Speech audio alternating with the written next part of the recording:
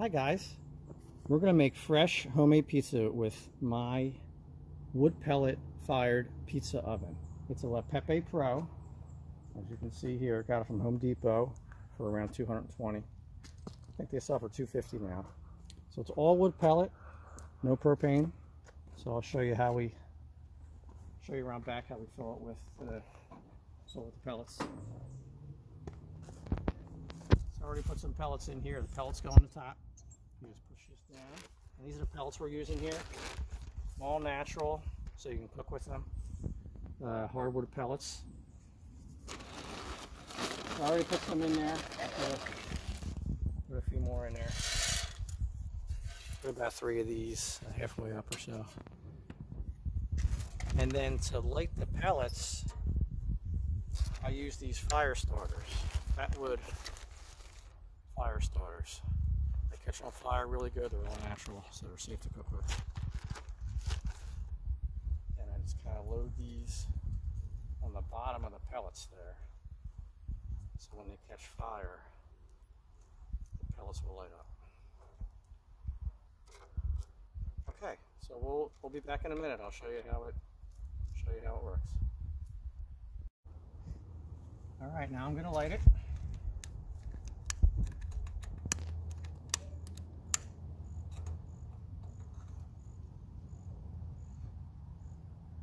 And these sticks light really good. Once they're lit, they really burn well. Through the other side here too. Come on.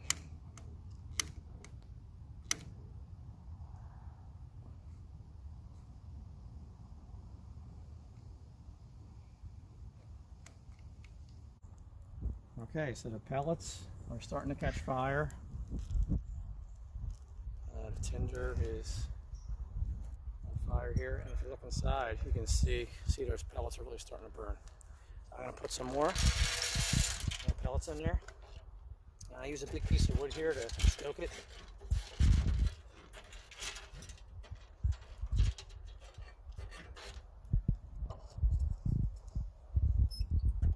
Okay, let's see how much it, or what temperature it is now. Then some needles moving, it's about 200. So the ideal temperature that I like is, is between 650 and 700 degrees. Find that's it. Uh, anything hotter than that, excuse me, is um, just burn the pizza. So I'm gonna let this preheat for about 15 minutes and get it up to temperature, and then we'll come back. All right, so we're gonna get the dough ready here. We've got two pizzas. This is homemade dough, by the way. This is the only flour to use. This Tipo 00 makes a great, great pizza.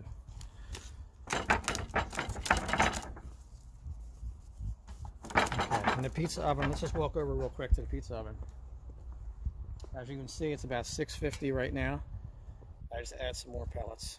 So it's gonna stay about that, might even creep up to 700, as you can see. So we'll start the pizzas.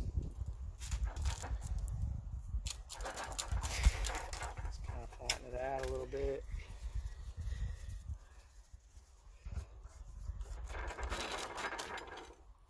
I like to put a little bit of flour on the bottom of the pizza peel.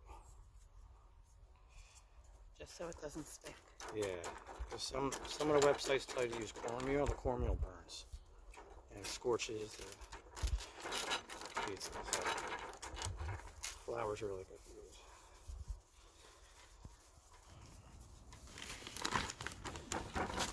You want to make sure too after you uh, after you make the pizza, after you flatten it out and make the pizza, make sure it doesn't stick stick to the peel because you have to slide it off.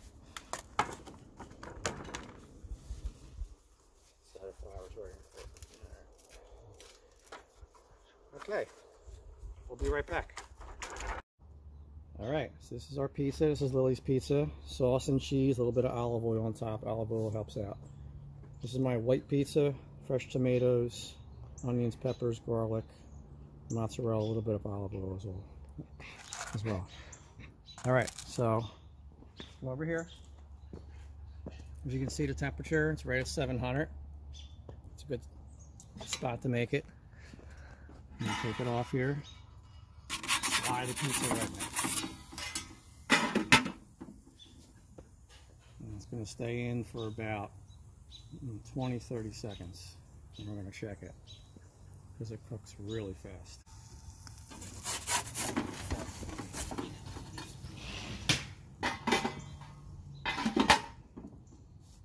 Turn it a little bit. Put it back in. and Check it again. Take it out. I'm going to spin it one more time. Kind of spinning it by a third each time. 20 seconds.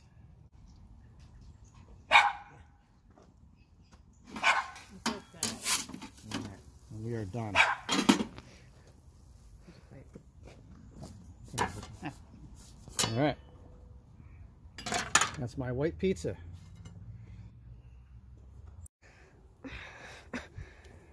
This is Lily's pizza.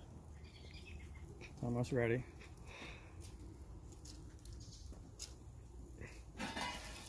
Oh boy. That's ready.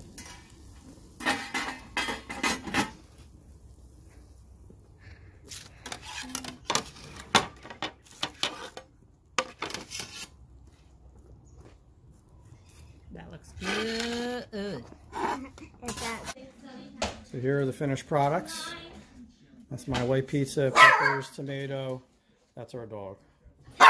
That's our other dog. That's Lily's sauce and extra, extra cheese. Lindsay's tomato pie with very, very little cheese. I hit. All right, but you can see the crust is- gets nice and brown. Wow, Lily, yours looks super good. I know. And- Lois, Lois looks amazing. Yeah, this oven is makes a great really good, too. pizza.